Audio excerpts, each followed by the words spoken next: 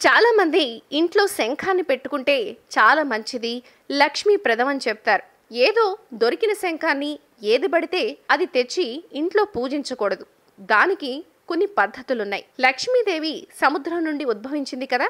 కాబట్టి శంఖాన్ని లక్ష్మీదేవి స్వరూపం అని చెప్తారు. లక్ష్మీ స్వరూపం కాబట్టే శంఖం శ్రీ మహావిష్ణువుకు చాలా ప్రీతికరమైన వస్తువు. శ్రీ మహావిష్ణువు సుదర్శన చక్రంతో పాటు శంఖాన్ని కూడా కలిగి ఉంటాడు. శంఖం ఎక్కడైతే ఉంటుందో అక్కడే శ్రీ మహావిష్ణువు ఉంటాడు. ఇక శ్రీ మహావిష్ణువు ఎక్కడ ఉంటాడు? లక్ష్మీదేవి అక్కడ కొలువై ఉంటుంది. శంఖంలో పోసిన జలం కూడా తీర్థమవుతుంది అంటారు. అలాంటి తీర్థంతో అభిషేకం చేయడం వల్ల విష్ణుమూర్తి సంతోషిస్తాడు. శంఖాన్ని చూడటం వల్ల కూడా సమస్త పాపాలు తొలగిపోతాయి.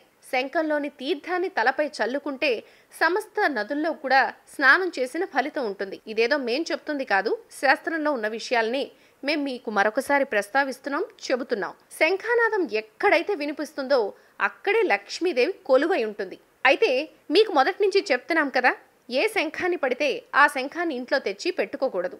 దానికి కొన్ని పద్ధతులున్నాయి. శంఖాల్లో దక్షిణావర్త శంఖాన్నే పూజా మందిరంలో ఉంచి పూజలు చేయాలి. ఆ దక్షిణావర్త శంఖాన్నే పూజనం చేయడం వల్ల లక్ష్మీదేవి అనుగ్రహం లభిస్తుంది. దక్షిణావర్త శంఖాన్ని పూజించిన వారికి ఆయురారోగ్యాలు సిరి సంపదలు కీర్తి ప్రతిష్టలు లభిస్తాయి. ప్రాచీన రహస్యాలు ఆచార వ్యవహారాలు శాస్త్రీయ విశ్లేషణల సమాహారం మీ తాడపత్రం మరిన్ని వీడియోస్ కోసం సబ్స్క్రైబ్ చేసుకోండి. ధన్యవాదములు.